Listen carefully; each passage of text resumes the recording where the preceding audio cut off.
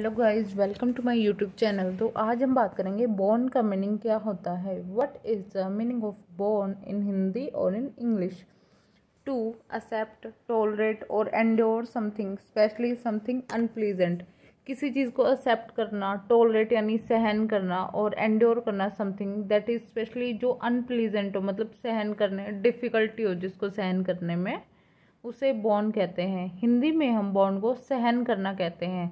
मतलब परेशानी या कोई भी चीज़ जो हम सहन करें, उसे बोन कहते हैं।